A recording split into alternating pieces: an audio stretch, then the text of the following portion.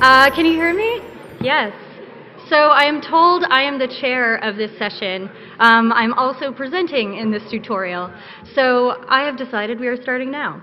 Um, so this is joint work um, with a number of people who are here. I'm going to be presenting sort of the first part, and my uh, collaborator Su Lin, who's in the front row, is going to be sort of taking on um, sort of the second half. Uh, this is also joint work with Solon Barocas, uh, Hal Daumé, and Hanna Wallach. And this is based on, nope. All right. Uh, hmm. All right. No, it, it, it worked before. Uh, as I said, it was my decision to start now, and so. All right, we're based on two pieces of work. So thank you again for coming to our tutorial on the meaning and measurement of bias. Um, this is work based on two papers. Um, one of them is already online, Measurement and Fairness. Um, that's work uh, by me and Hanna Wallach. This is on arXiv. And Debunking Debiasing, a critique of bias measurement in NLP. And that will be posted online soon, so I'm excited for you to all read it. Um, but I really wanted to start with some basic assertions about things that we think are true across um, this conference and more broadly there are some things that we care about. Um, it might be that we care about creditworthiness or having a good teacher, um, someone who's a risk to society, or using toxic or bullying language. Um, we might even care about fairness.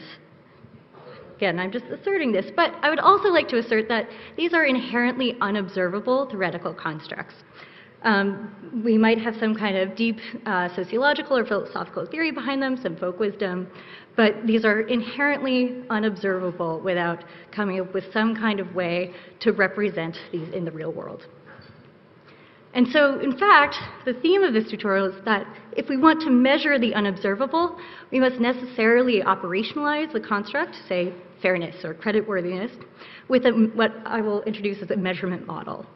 And so this gives us a way to take observations from the real world and help us reason about these ideas that are, um, in fact, never going to be observable.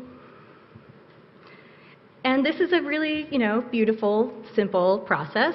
And in fact, it sort of underlies almost everything that we do.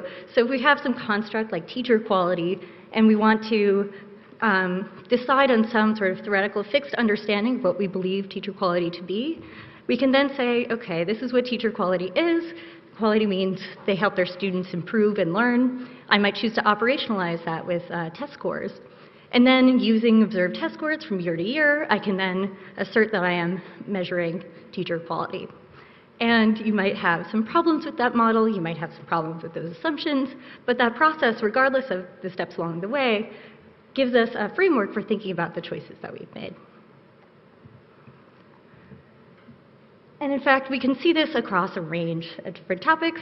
This is just, you know, some highlights. We can think about creditworthiness. Later, we'll talk a little bit about tweet toxicity. Um, and we think, can think about how we would turn that into certain kinds of, say, scores or um, a decision about whether or not you get kicked off a platform. And so, again, we sort of have this underlying process that we're going to operationalize this underlying thing.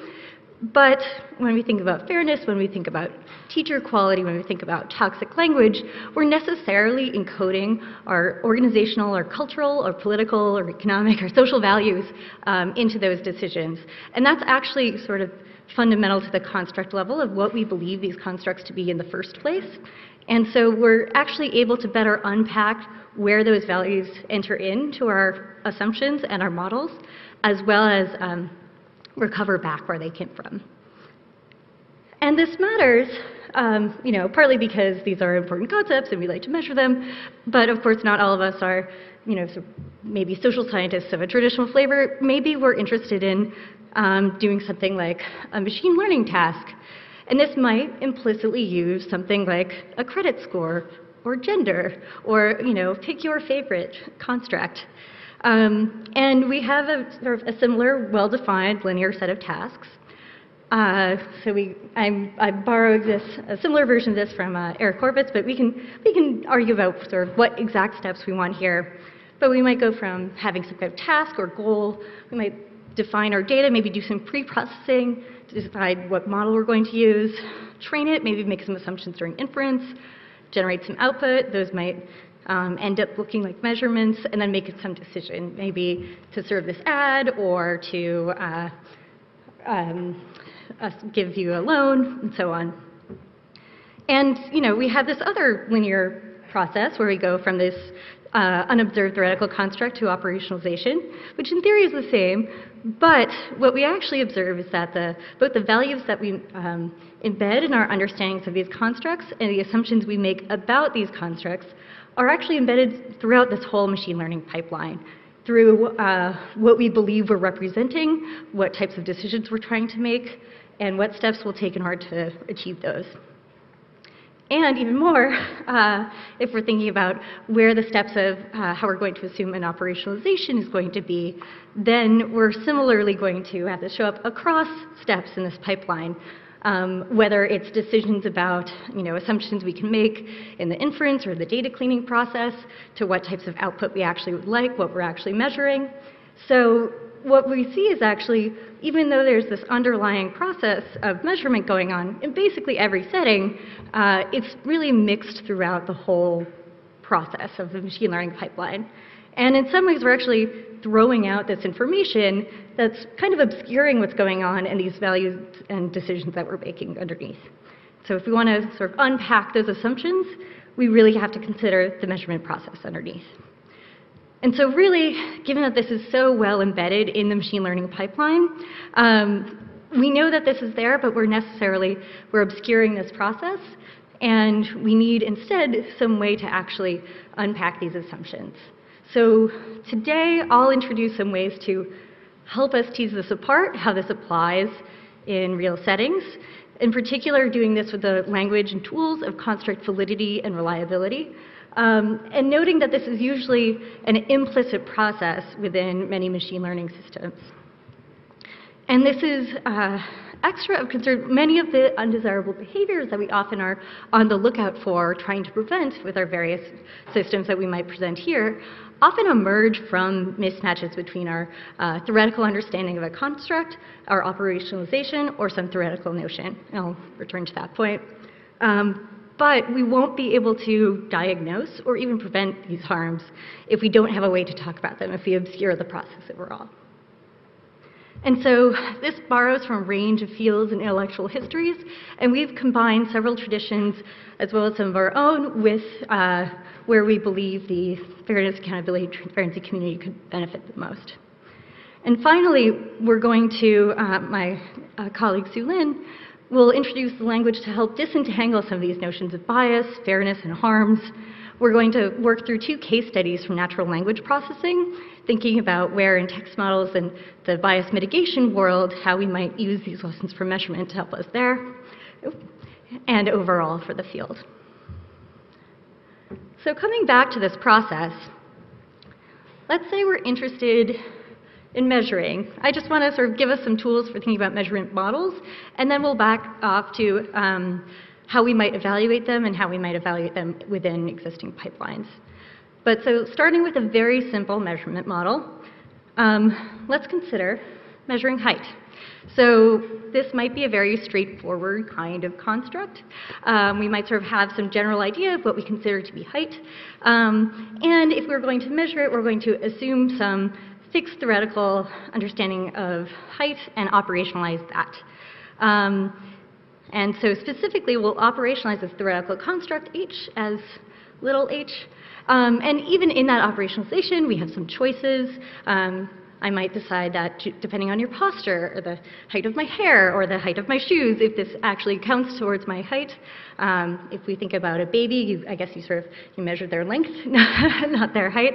Um, and depending on sort of mobility tools or measuring tools, um, you're going to come to different types of representations. And those representations come with our sort of um, trying to map what we're observing from the real world to what we understand height to be. Um, and so these are uh, what David Hand calls representational measurements. Measurements are sort of drawing from something sort of what we would say observable, but arguably sort of fits within this uh, framework as well. And just to bring this to some notation that some machine learning people might be interested in, to think about how we might represent the process of our um, operationalized but unobservable uh, little h from uh, so this is a, a plate diagram. So, uh, so from our hidden variable h, we might take, say, a big N number of observations, which are possibly noisy. We can describe a measurement error model, which would describe that noise. Uh, we're going to take N of these measurements, um, uh, uh, uh N of these observations, the real world, from h hat, and we might take the average, say, and call that our estimate of this underlying um, construct height and this is our sort of having operationalized it this way, this is the way we can get to this. So this is all sort of producing a lot of extra language and extra baggage, but that's because I want to build us towards some more familiar looking and more complex types of models. We might be sort of on board with how we use a ruler. Um, we might even be okay with how we might uh, perhaps describe a measurement error model on top of that. Um, but actually, we can quickly get to some of the examples we might be interested in here. So rather than, say, taking ruler, I could say, oh, here's a data set where people actually self-report their height.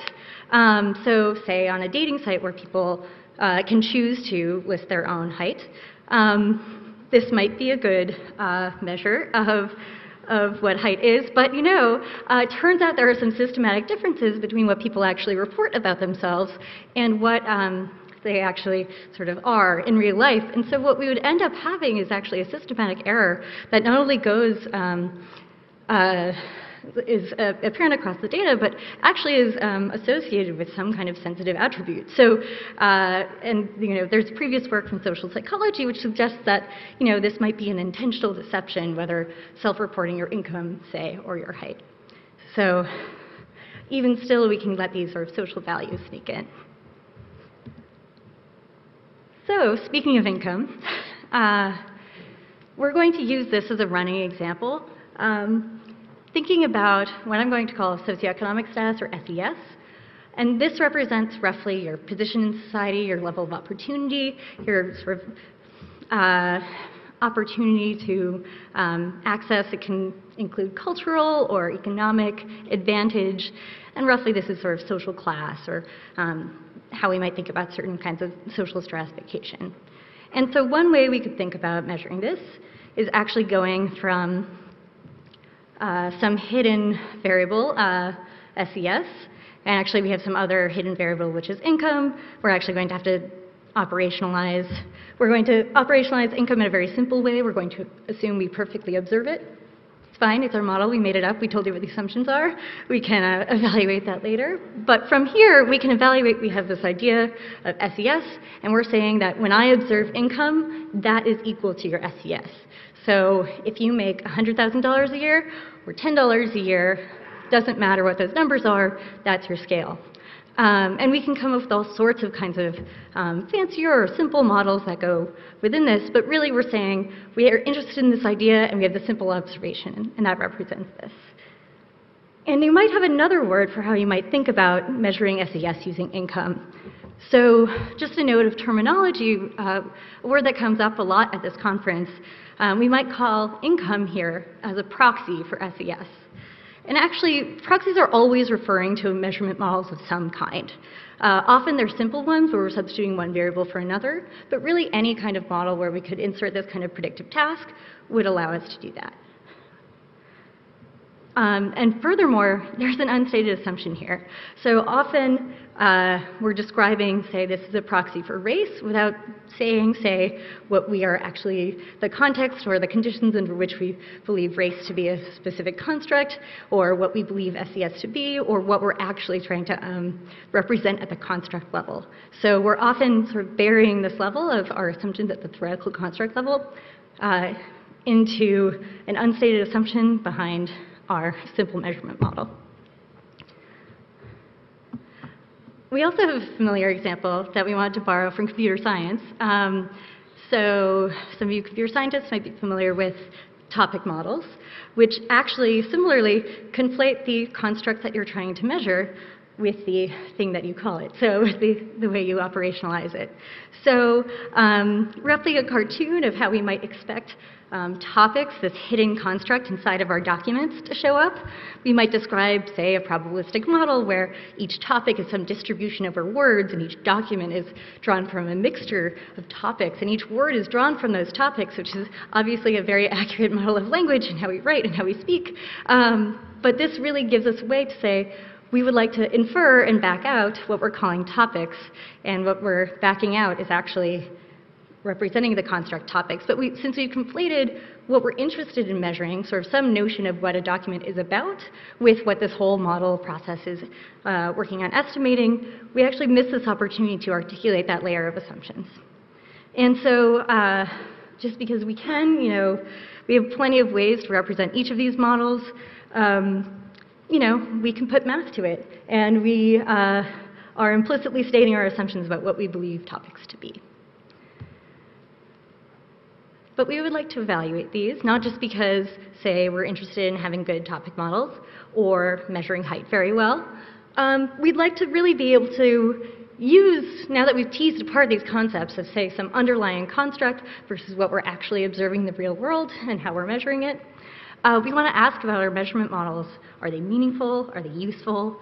Um, are they doing what they think we should? Um, are they going to cause harm? And that's often something we're we would like to be concerned about, especially if we are, you know, working for, I mean, just in general. I'll, I'll, go with that. Um, and so really what we're going to introduce here is going to be borrowing from a number of different traditions, but what we would really like is um, not just, say, a checklist, but really something that helps us generatively think about how would we assess this? How would we demonstrate that we're doing what we say we're doing? And how can we demonstrate that this is meaningful?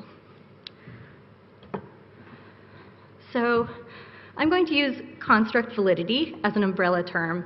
Um, this really comes from a range of different fields over many years. So we're actually drawing from decades of political science, political methodology, education testing literature, psychology, statistics, um, and bringing it over to this literature. And um, we've combined those results in our paper there. And so I want to introduce the framework that we have brought together as we think is most relevant to uh, construct validity for this community, and furthermore to unpacking the assumptions that are already built into all of the models that we're using to begin with. So we're going to focus on seven types of validity. Um, uh, these are our choices that we've combined in a number of ways. They draw from a few different traditions, and I'm going to walk through them both to give you a sense of how we can use them to assess our models, as well as um, what they would tell us about, say, our working example, for example, um, SES and income. So the first one's kind of easy. It's kind of a sniff test. Uh, we would say that, you know, um, you know, does what we're saying we're measuring basically mean what we think it does? You know, uh, is what I'm thinking of as socioeconomic status reasonably related to income? Sure. Okay. I, you know, I can move on from there. Uh, you can find tasks where you don't even have that, and it's a great warning that you should really consider your assumptions about what you're actually trying to measure. Um, so this is, uh, you know, easy to test. It's really a sort of qualitative thing. I could say, yeah, say, um, if I was using uh, income, a billionaire has a different income than a barista, and they're probably sort of at different stations in what we imagine the sort of socioeconomic status space to be. So we can move forward. Content validity actually helps us think about what we believe our underlying construct to be. So with socioeconomic status, we might want to say we have some theoretical understanding of what socioeconomic status is. I would also have to assert that um, either there is uh, some general, either theoretical or in practice, agreed upon understanding of what that would be, or if there is some fundamental uh, disagreement within our understanding of that, uh, what type of um, definition or understanding are we going to use? So this is really sort of what is at the core of what I'm representing, and uh, does my operationalization fully capture what I am claiming is that construct? So with SES, when I introduced it, I sort of gave this away because, you know, maybe we're actually interested in um, access to education, uh, wealth, which is not represented by income, uh, cultural ties, cultural capital. Maybe I'm interested in something else that's not actually represented by solely income alone. And so this would mean that uh, I'm necessarily lacking on some of this content validity. Even if I have some sort of rough notion of what that construct is, I'm probably not representing all of the relevant aspects of it within that definition.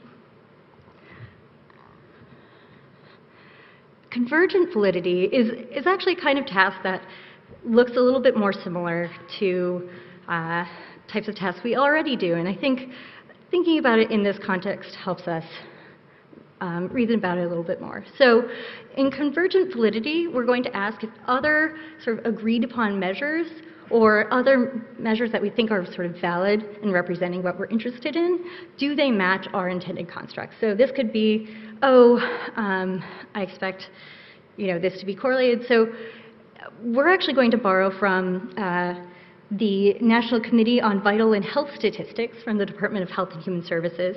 They're really interested in measuring things like socioeconomic status because they're worried about things like housing and human health. And so for us, we might actually draw what their estimates of the population's socioeconomic status is and compare that to our measure using income.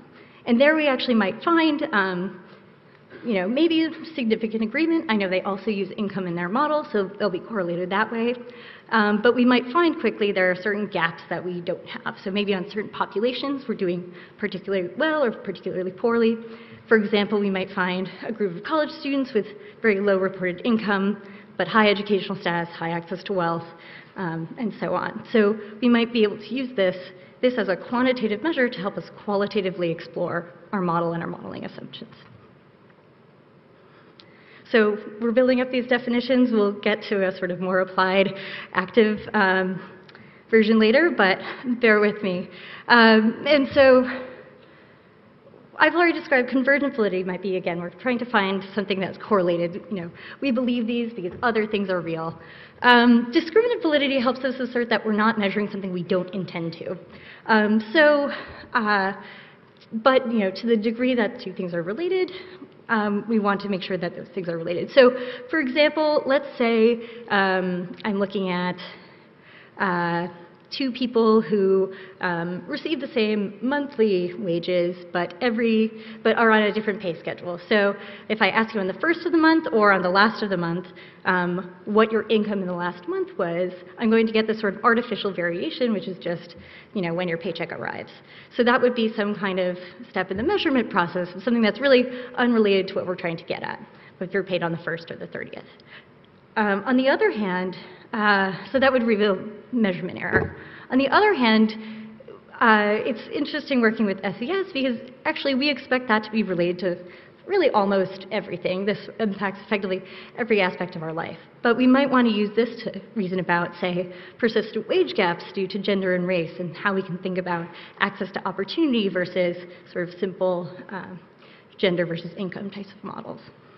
So, for example, how is your neighborhood related to, or how is the school that you grew up with related to that opportunity?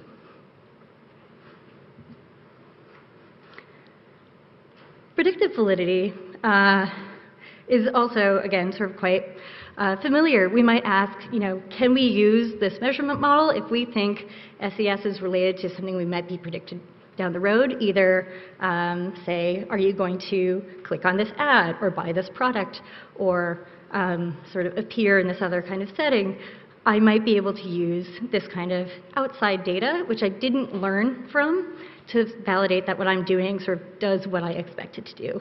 This is a we can this is a sort of fairly common task, uh, but it's really um, but it's really sort of articulating what we think we're measuring with the kinds of settings that we're interested in.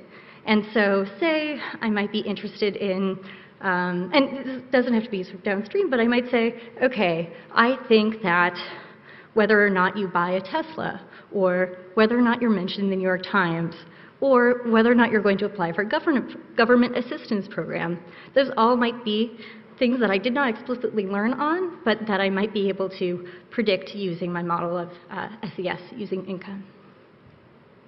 And so, again, we might find, be able to use this to unpack some small systematic differences, but really this helps us reason about whether or not we're measuring the right thing with respect to the types of questions that we're interested in. And finally, hypothesis validity helps us put our measurement into context. So um, if we have operationalized our construct in a way that we think is correct and meaningful, we should really be able to uncover sort of the kinds of social facts about the world that we would expect to see. So, for example, again, typical uh, hypotheses and significant empirical evidence suggests that um, uh, lower SES, having lower SES leads to worse health, worse health outcomes, at least in the US, and I would presume that generalizes beyond. Um, and so this is actually sort of uh, then something we can test. We can relate, okay, does your reported income relate to some kind of health status? Uh, and this is, again, this is not how it should be, but this is the thing that we have found in the world. Um, and so this might, in general, say in the lower and upper ends of the distribution, maybe be correct. But we might also find, again, certain groups, say college students with significant access to wealth, who are also very healthy, but effectively uh, no income. Similarly, we could think about uh, being mentioned in the New York Times as some kind of representation of cultural capital. So putting that aside, we could see if this is actually a question of income or if that's somewhere where, again, qualitatively, our model is missing something.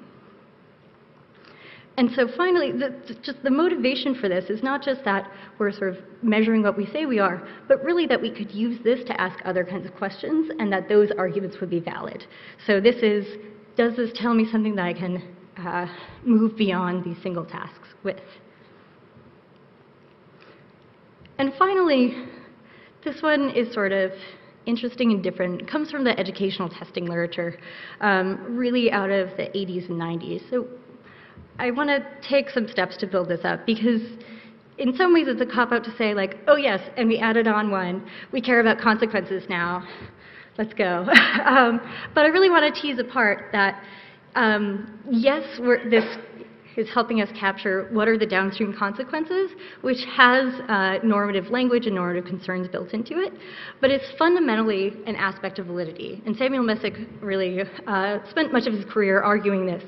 Um, in the educational testing literature. So he worked for the Educational Testing Service, which, do, which makes things like the GRE, actual tests that have some direct impact on some outcomes, although maybe not anymore. Uh, and he was concerned about the fact that once you um, create a test, this, the way that it's used, the way that's interpreted, the way that um, people sort of take some score seriously or don't, or the way that it creates opportunities or does not, um, can really fundamentally change the definition of the um, measurement itself. So that is to say, how these measurements are interpreted. So if I say, oh wow, they're a risk score of 10, um, or oh, look at their GPA, so high, uh, I might be able to then use that as you know, something I'm a ga game. So if I'm a college, I might move towards grade inflation so my students get the best jobs. Um, and there's a number of types of feedback loops and types of ways this may show up. So um, one might be with automation bias, is if we believe that um, these scores, because they came from an algorithm uh, are somehow more valid or unbiased, or you know, we ran them through some tests so they're not biased, and therefore it is more valid than what you could say. Um, we might actually be changing the landscape which we're trying to measure. Uh, this might also show up with certain kinds of feedback loops, um, not just incentives, but if we're creating the data that we're then training on, say for predictive policing, if we send police to uh, certain areas and make arrests there and return to those places, we're going to um, increase the frequency that we observe in those places, leading to systematic shifts. Um, and finally, we know that this also shifts incentives. So as I said, with the educational testing or um, teachers manipulating grades or having grade inflation, uh, what we see in all sorts of settings is what's sometimes called Goodhart's law, that when a measure becomes a target, it ceases to be a good measure um, which is to say, now we have something to optimize for, and I'm going to go for that. Uh, This is also kind of what the show The Good Place is about. You know, there are a lot of ways that we've explored this idea, and this really is sort of insidious across organizations, across education, across the kinds of systems that we're generally um, running among ourselves and encoding uh, technically. So overall, what this all points to is a number of ways to asking questions about what we've done, what we've assumed, how we're operationalizing it, what we're measuring in practice. But I want to point out some sort of higher level lessons that we learned from this. One is that these are both quantitative and qualitative qualitative ways to establish validity. So these are um, quantitative and qualitative tests, different types of arguments to argue that for a given context, we are answering the question we say we are answering from the data that we are working with, from what we've defined. And so this means that, you know, this is always sort of relative to the context. This is um, what question are we trying to answer? Are we answering that question well? Are we predicting something because that's what we care about? Or is it only appropriate in certain contexts? And so that means really there is no best. There is never fully validated models. We have never finished this. Um, because in any inherently social, political, cultural, economic, organizational, et cetera, task, um, there is always going to be this type of contextual question where underlying, even if we did not state them, there are these strong um, values embedded into the assumptions that are made. So we really need some way to unpack how those assumptions got in and the degree to which we are um, accurately or adequately um, capturing those issues. And finally, I, I, like this quote from David Hanges, great scholar on measurement, um, that these measurements and how they're defined both reflect structure in the natural world and impose structure upon it. And I, to me, this really resonates with the kind of computational context where there has been somewhat less of this discussion of measurement, but really we're trying to capture things in the world, and by encoding them, we create more structure.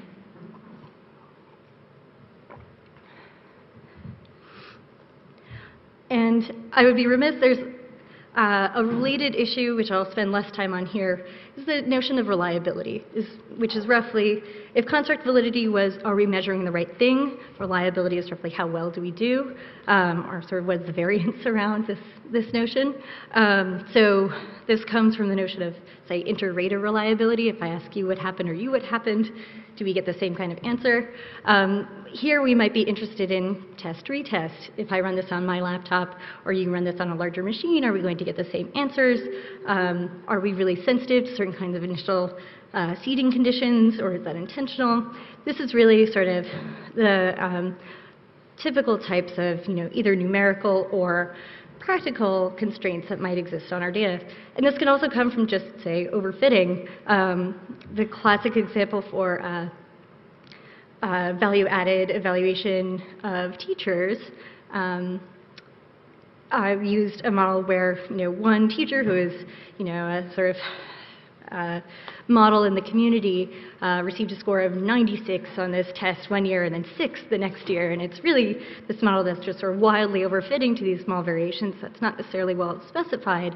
And there you actually might find it's actually just the fact that the test is guessing numbers all over the fact, all over the place. That means it's maybe it's trying to get the right thing. Maybe we made all the right assumptions, but based on the conditions, it's actually not reliable for the test that we're interested in.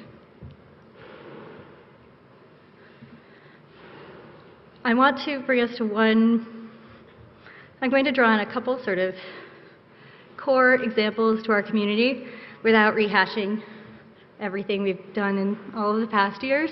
Um, so I want to revisit briefly what we've been discussing as um, how we might evaluate the measurement process in a conflict that's well known within this community, say looking at the COMPAS algorithm to understand recidivism risk scores.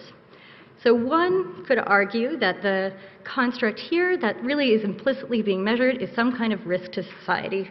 We can argue about whether it, where precisely within the criminal justice system it's actually claiming to do that, but that's sort of roughly what we're trying to get at. So already these systems exist, and we're just backing out um, what's underlying it. And we already know that uh, this is generally operationalized, whether it's risk to society or violent risk, um, through the likelihood of reoffending. And here the measurement model is actually using rearrest, not say reoffense, because uh, this is what our observations of. So we already know that that's sort of one of our core issues. But we can really put this into context by backing out how can we use the language of validity to assess this model, to assess these past um, disagreements, to actually engage with um, what values are embedded in this, where those assumptions live, and how we would possibly intervene on them. So uh, I'm actually just going to highlight a few types of validity just to show how strongly this gets at these different kinds of issues that we um, can conflate if we don't fully separate what we're trying to measure with what we're actually doing. So first, we've already said, you know, being arrested is not the same thing as doing some, uh, as reoffending without being arrested. So we already know that we're um, have these sort of subpar measurements that are based on all sorts of other types of attributes. Um, we can also assert that, you know, maybe risk to society is a questionable goal, and maybe that's actually not what reoffending within the existing legal system is at this moment. Maybe that's actually not quite what we mean. Um, but that would be a disconnect between what we understand as this construct of interest, what this risk to society is, versus what we're actually measuring in the process. So we've operationalized it using, again, this likelihood of reoffending.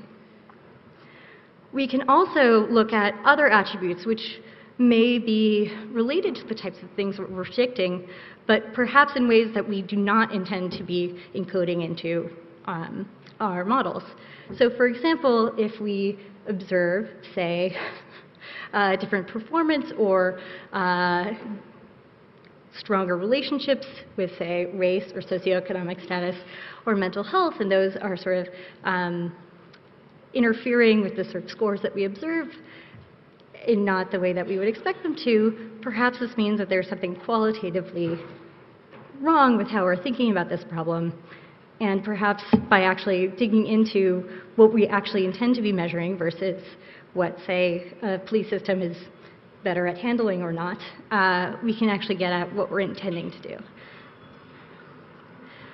Uh, we know from ProPublica and all sorts of other settings that we know also many of these computational systems uh, we, we observed differences in performance by race. So this is actually not predictive validity overall, but predictive validity broken down by these different categories. And finally, just wanted to highlight consequential validity here as well. We already know that we're training on historical racist training data if we're designing um, uh, an algorithm from previous historical arrest data. Um, and we know this has all sorts of feedback loops with who gets targeted both by neighborhood and, and groups. We also, we know that handing these scores to um, various systems, we can see both automation bias where people trust these scores, or actually um, ways that people step aside in systematic ways to, um, to circumvent these systems. And finally, we know this is sort of a fundamental piece and actually a sort of a high impact area of how we imagine governance and the criminal justice system to work. And so if we want to understand what we're actually would like to measure, um, we have to either uh, interrogate our assumptions about what we would like to do in those settings, or uh, at least specify that within this particular set of goals or within this particular set of system, here's how we would proceed. So this lets us unpack what's been going on inside of say many articles that write about COMPAS, but why I think especially this automation bias, governance, criminal justice point is so compelling is, you know, there is all sorts of argument about sort of which types of measurements you could use to say whether or not um, this was a useful algorithm. But I'll say um, COMPAS in their discussion of validity ostensibly of this type, they really assert that they are using risk scales that are assessed with an objective method. And so this really sidesteps the fact that there were assumptions that were made from which an objective method was done, but the initial assumptions about what goes into this, what arrests are, what offending is, um, what violence is, is already built in in the first place.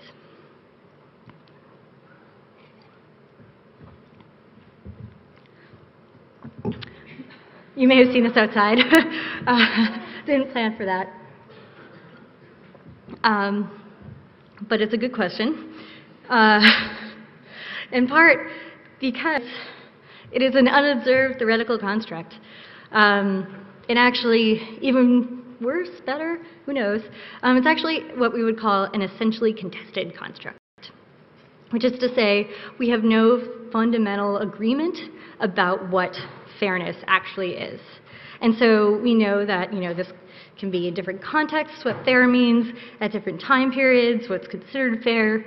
We know that we've been uh, disagreeing with each other about what fairness really is for literally thousands of years. Um, and so this really means that we're, we're working with something that's really embodies this kind of uh, disagreement. And so uh, we also, relatedly, we have sort of notions of justice and equity, and maybe that's actually what we're aiming for when we're talking about fairness. So these are all sort of related ideas and things that we would really have to come to some kind of agreement on if we wanted to measure them. But we measure it anyways, and we have, we're not asserting to have solved um, what philosophically, theoretically, socially fairness is, but, in, but we still move forward and measure it. So to the extent that we do wish to actually measure fairness after all, we can and we should use these tools of measurement modeling. And this lets us um, assert what our assumptions about what we believe fairness to be in a way that we're going to use and evaluate our systems. Um, and from there, uh, say this is how we're going to measure for that definition of fairness. And then we can explore how well it does in practice and what this really means and the degree which this helps or violates things like our notions of justice or equity. And this uh, really is um, a way to bring together our values of what we believe that we would like to measure, what we believe we would like to optimize for, and uh, again, Samuel this idea of um, consequential validity, uh, cites Cronbach and saying that making these choices about consequences as well as what types of evidence are available and how we might come to these decisions, these are really judgments that are embodying trade-offs and not truths. So there is still no underlying truth to what we are believing fairness to be, but we are making decisions about whether we are op optimizing for a certain notion of, say, equity. Oh. Uh, so um, something, an activity that happens frequently in this domain and others is we have some precise mathematical definition of fairness. And this is great. This lets us um, test things. It lets us prove things. It's very productive. Um, and it really does give us a framework to work with, but it's still is embedded, there is this implicit measurement process regardless. And the thing that we sort of crucially need, even though there is that precision that is representing some specific operationalization of fairness, we still need a theoretical argument for what is being operationalized. So specifically, I can say that I'm representing this particular type of fairness, and that's represented through this equation, and that is perfectly precise, but I need to uh, fundamentally argue that this property truly does measure fairness or unfairness in a way that matches my theoretical understanding of what I'm saying fairness is. And so this helps us take apart these different concerns, um, which are different. So we have these embedded normative concerns about sort of what construct are we actually operationalizing, or what construct should we be operationalizing for? Does, um, you know, if we're interested in this type of balance and this type of metric, were you really trying to get at um, one notion of fairness, for whom, across what contexts, um, do we care about other things like justice?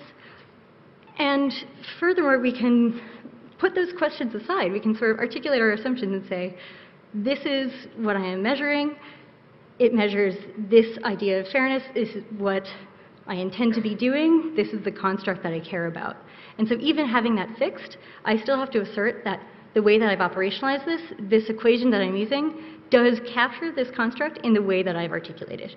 So even if I'm going for um, this particular notion or tradition of fairness, I still have to say the equation over here, in this context here, in this model, is actually capturing that completely. And so uh, evaluating the validity of this type of an operationalization really helps us get at um, are we really achieving that? Or what assumptions did we have to make in the process?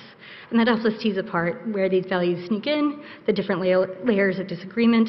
And even though we're sort of hypothetically at just the sort of precise mathematical theoretical argument, um, we can help get at different parts of this process.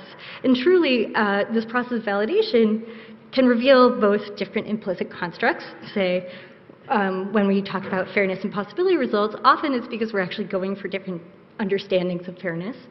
Um, but it also helps us understand what we are and are not capturing in those models or what assumptions have to meet in the process. So uh, the theory can be there, but we still need this process. And overall, what I would say is, you know, inescapably so, that measurement is everywhere. So whether we articulate it or not, um, these assumptions are often implicitly made. And furthermore, that often the undesirable behavior we're interested in arises from what I would call mismatches in this process.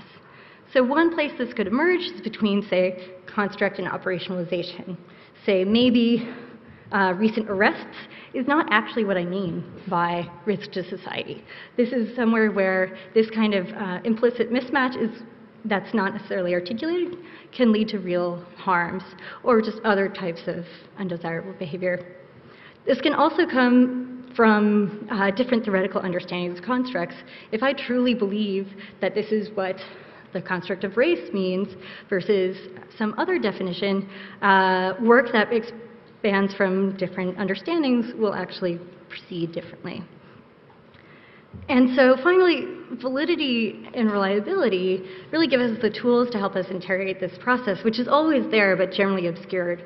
And when we collapse construct and operationalization, or even construct operationalization and measurement, we really lack, miss the opportunity to unpack what those assumptions are and where those problems can emerge.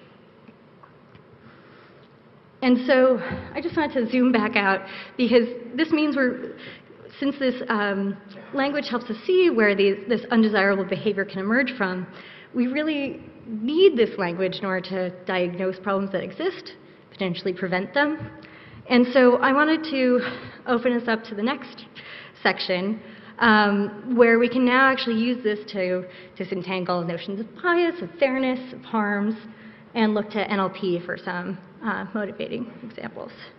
So I'm going to take some water and let uh, Su Lin take the space.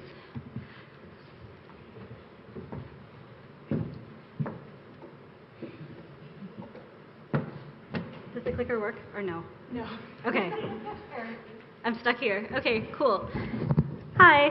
Um, so, um, my name is Su Lin, and we're now going to turn to the domain of natural language processing, which is what I spend most of my time working on. Um, so, in the context of language, there are a lot of unobservable theoretical constructs that we might be interested in thinking about. Um, so at one level, researchers might be interested in things like, might actually be implicitly measuring things like sentiment, what's the sentiment of this piece of text, what's um, the toxicity of this piece of text, what language is it in? Sociolinguists are moving towards thinking about languages as constructs. Um, what are the topics, as we've seen, um, you know, regional variation, all these kinds of things, you know, that are sort of analogous to what, um, to things like height and socioeconomic, socioeconomic status.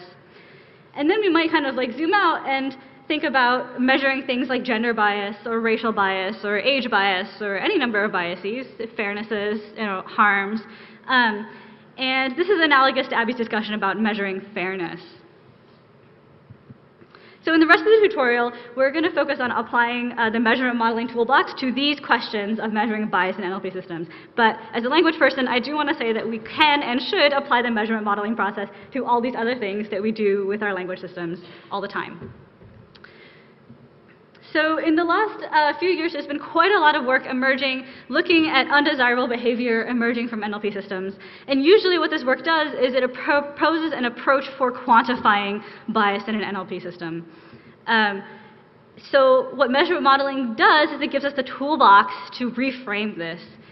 Um, so essentially, work that quantifies bias is providing a measurement model, right? Um, and then we can ask, um, measurement models of what? What, when researchers are quantifying bias in NLP systems, what are they measuring? What are they getting at? Uh, so measurement modeling enables to ask a couple of really important questions. One is, what constructs are NLP approaches to bias operationalizing? Are they all getting at the same thing? Uh, are there quite different things that are being operationalized, all kind of under the umbrella term of bias?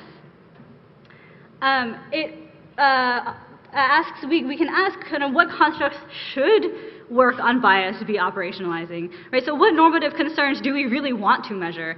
Um, in requiring us to articulate these constructs, measurement modeling allows slash encourages us to theorize about these normative concerns separately from how we're measuring them, right? So it kind of opens up these really important sort of normative discussions. And then we can ask, um, much as, uh, you know, um, much as Abby has, uh, are the proposed measurements well matched? You know, using our new tools of validity, um, reliability, are our measurements good at measuring our proposed constructs of interest? So for the NLP domain, there are a ton of ways to break down bias into more useful granular constructs that NLP papers might be getting at. Uh, so here, we're, we just, we're going to propose a subset of these. Um, so the set of constructs we're going to think about for the purposes of this tutorial are what we think of as representational harms. So we can imagine that a lot of NLP systems, like machine translation systems or sentiment analysis systems, um, they don't directly allocate, for the most part, opportunities or resources. Rather, they give rise to you know, different kinds of what we might think of as representational harms. So this is a subset of um, these harms. It's not exhaustive, but it's a handy set of um, things. So here we've included stereotyping, um, so which is sometimes defined as a fixed, overgeneralized belief about a particular group of people. Denigration, so we might define this as applying a label that has a long history of being purposefully used to denigrate and demean people. So one example of this outside the NLP domain is when Google Photos um, label pictures of uh, uh, African Americans as gorillas. Uh, quality of service, which kind of gets at performance differences um, between text about different groups or between text uh, written by different groups of people. Um, and you know something and public participation, which is something like um, diminishing you know people's ability to participate in public discourse or democratic processes. And what's really useful about these is that uh, these are all things that might be collapsed under the term bias, but they're really different things, and collapsing them under the same term really obscures the fact that they are very different, and uh, they're really valuable to examine separately. And separating them also kind of, I mean, by looking at these just definitions and thinking about these separately, it kind of hints at like the theoretical lineages we might lean on to really do a good job understanding these, right? So social psychologists and sociolinguists and sociologists and um, uh, and a lot of other folks have actually thought a lot about these things, and separating them out, uh, we can kind of lean on and draw in that knowledge. So we're going to dig into two specific NLP case studies, uh, so two approaches, um, recent approaches to examining bias in NLP systems. Um, that think about, uh, and we're going to think about the process, of, like we're going to think about what harms are operationalized and how they are operationalized by these approaches to quantifying bias in NLP systems. So the first of these is something that is probably maybe well known to a lot of people in this room. It's bias in word embeddings. So word embeddings are a cornerstone of modern NLP uh, tools. Um, they underlie pretty much all modern NLP systems, I would say.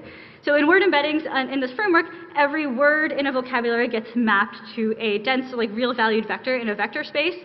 Um, so this is really appealing because it's been shown that these word embedding spaces capture really desirable linguistic regularities. So there's actually, they capture in a linear way um, uh, semantic relationships. So actually there's like a nice geometric relationship in many embedding spaces between king and queen and man and woman. Um, there's also um, really nice morphological regularities. So in word embedding spaces capture things like geometric relationships like walked is to walking, as swam is to swimming, which you can might, might imagine is really handy for NLP systems. But they also capture not so desirable things uh, regularities. So some analogies that pop out of many um, word embedding spaces are things like man is to programmer as woman is to homemaker, or uh, he is to physician as she is to registered nurse. And these are, uh, so one early study on this from a couple of years ago showed that after, after generating a bunch of analogies and showing them to um, Amazon Turk uh, annotators, about 40% of like the gender sensical analogies that are produced exhibit these kinds of uh, uh, undesirable relationships. So this is not the only approach uh, that's been taken to kind of looking at bad behavior arising from embedding spaces. So two other approaches have done this too, and I'm not going to get into the nitty gritty of what they do, but um, one approach, which I'm going to call subspace rejection, is where you construct a binary gender direction in space, um, usually by subtracting the he and she, the vectors for he and she from each other and you take a, you construct a set of occupation words that you think ought to be gender neutral. So words like programmer and homemaker, nurse physician, and so forth. Um, and then you can quantify the gender bias of the embedding space by taking the projection of these words onto the gender direction. So roughly, is programmer closer to he or to she? Um, and if overall most of your uh, you know, occupation words are closer to one than the other, this seems bad. And there's another approach that's pretty well known. It's called the word embedding association test. Um, it's a series of tests also for examining bias in embedding spaces. Um, so each test constructs four word sets. For example, um, like for the second row in this table, um, this, this test constructs a set of male names, a set of female names, and a set of career-related words, and a set of family-related words. And the test asks what uh, about the relative distance for example, between the male from, of the male and female names from the career and family names, right? So if on average, let's say your female names are closer to your uh, family words, right, than the male ones are, this is taken as evidence of gender bias in your space. So I, what I'd like to put to you is uh, an activity. Uh, so I'd like to ask, uh, I think uh, we'd like to consider kind of like three questions about these approaches to thinking about gender bias. So, or by, actually not entirely gender bias. There's also racial bias in here. Um, what are, what underlying constructs, what harms are these approaches to debiasing or identifying bias in word embedding spaces? What are they getting at? Like, what are the underlying constructs? Um, and we, the, you know, the ones that we, here are some that we've talked about. Um, what other harms, what are other things might have been operationalized if you're concerned about undesirable things arising from your embedding space? What else might we consider as important to measure? And then, um, what are other approaches that we might have taken to measuring the things, you know, the constructs that we identify as being measured here? So I'm going to put that to you, maybe take a few minutes, talk to a neighbor, about these. I won't like ask you to report back to me, but you know, uh, I think is very useful.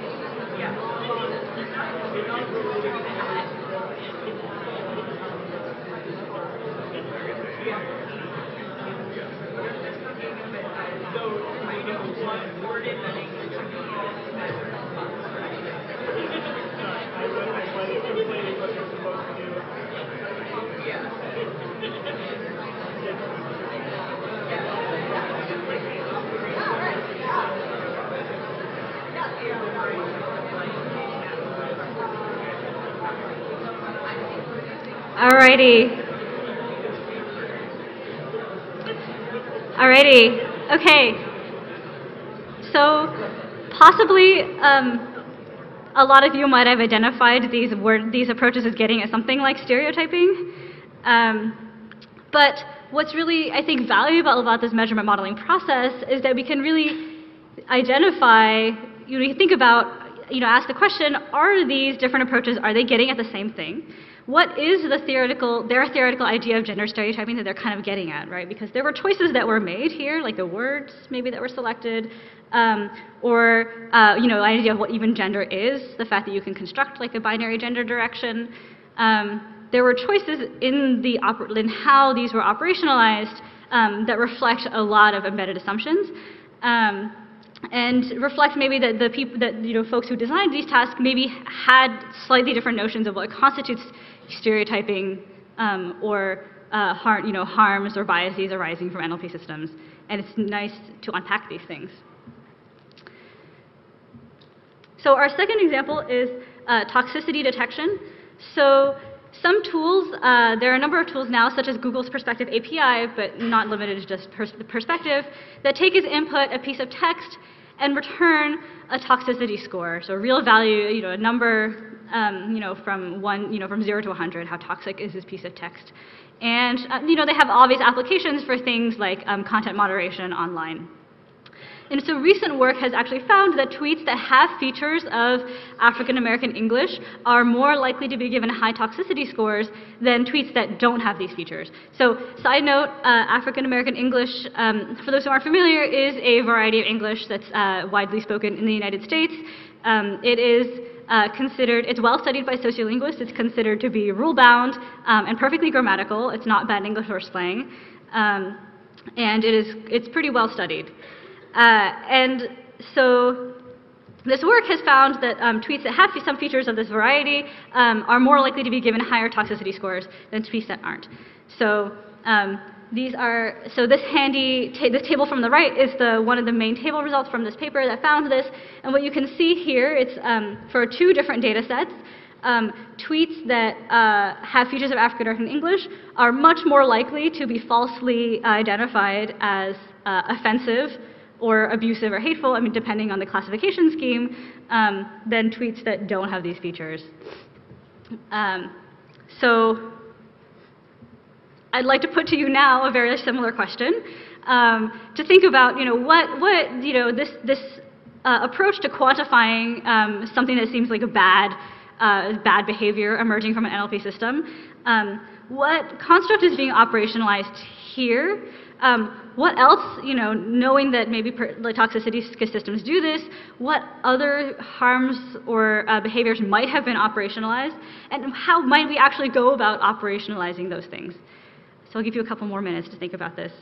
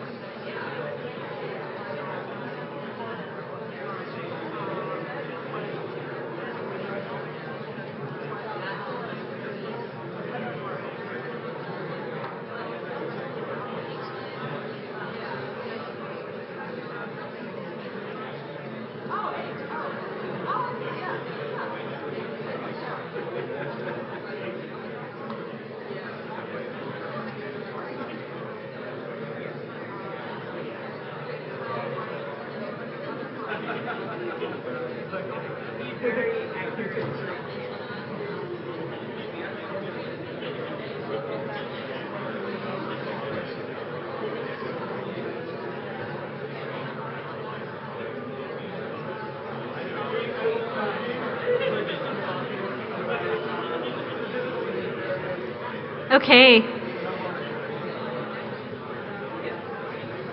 Okay. Um, so I, I wanted to point out a couple of things uh, that actually I learned a lot from trying to apply the measurement modeling process to thinking about um, these, approaches, these approaches to quantifying bias in NLP systems.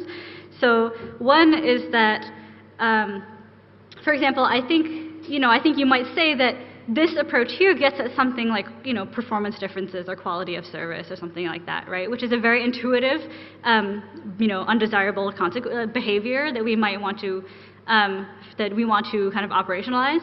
Um, but that there are others, right? So for example, like if this is actually applied in a content moderation system, it might really it might lead to like a public participation kind of harm, right? And conceptualizing this as part of the measure modeling process, really thinking about what it is that we want to measure, separately from how do we measure it, actually, I think opens, opens us up to considering alternative things like trying to measure something like public participation, which might not immediately have occurred to us if we're just, let's measure bias. Another thing is that um, there are, you know, the measurement modeling process really highlights um, you know, all the choices that are made in how these approaches are operationalized. So, for example, what constitutes gender stereotyping, or in, the, in this case, and in the previous case, like what constitutes like race, right? So here, right, the, the, the claim of this paper is that there is racial disparity in how these systems operate, and that is measured through, um, you know, like the presence of like dialectal features in your language. Um, and in the previous, uh, here, um, there is it looks at racial disparity, but from, you know, by using European American and African American names, for example, right? So thinking about this as a, as a measurement model that is operationalized really helps us identify the choices that were made in the creation of this measurement model. Um, and um, reflect on if that is really actually the thing that we're getting at, right? It might be. I mean, African American like the names might really be what you're getting at, but it is something worth uh, interrogating.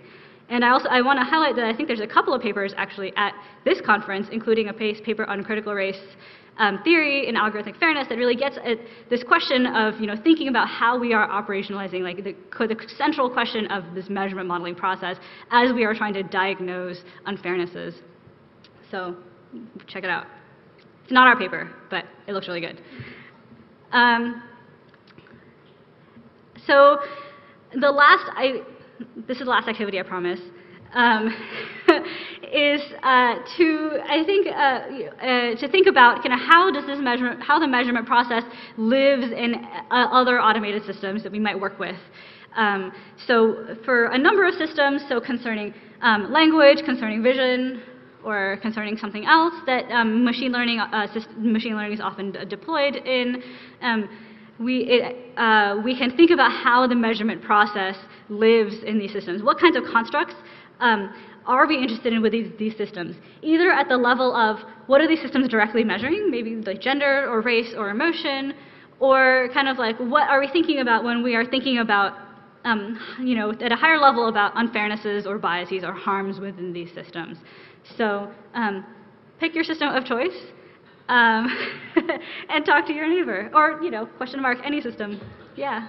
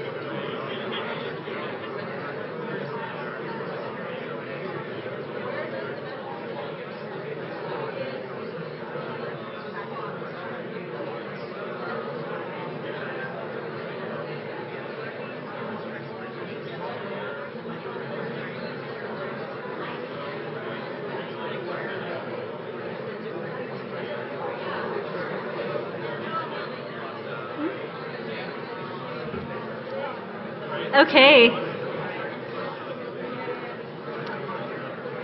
All right. So,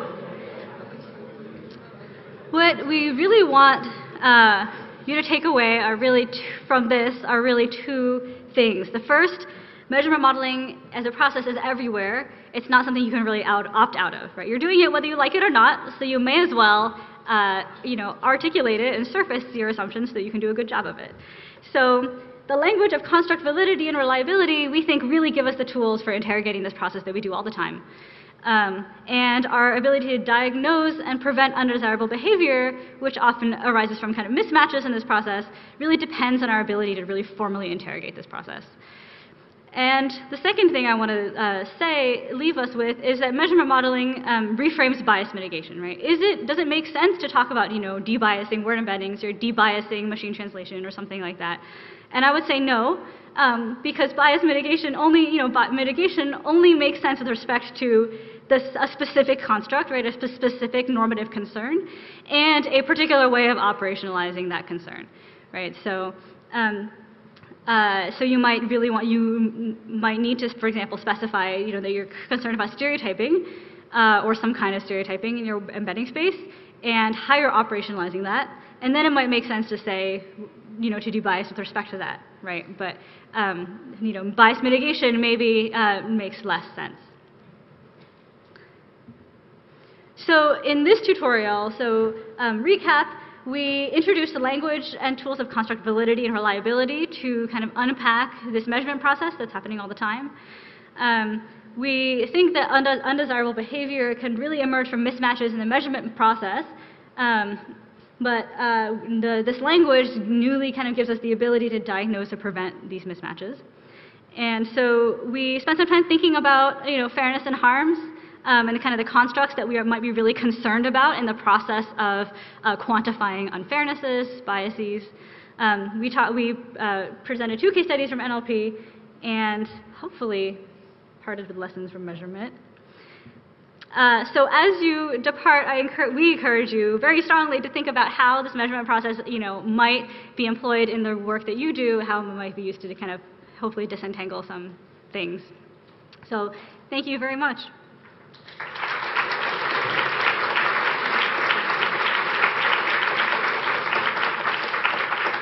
So uh, the measurement of fairness paper, as uh, Abby said, is already up. It is at uh, it is at that web, at that link, right? It is there. It is there, and it's on arXiv. And the other paper on debugging debiasing will be up, fingers crossed, very shortly at the same place. So, thank you.